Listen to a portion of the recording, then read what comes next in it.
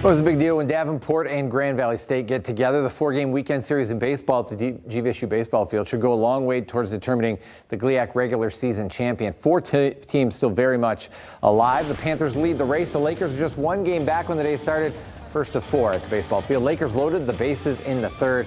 Cade Stanton beats the relay on the double play and puts GVA on top. Spencer Nelson scored. He was on base four times in the game.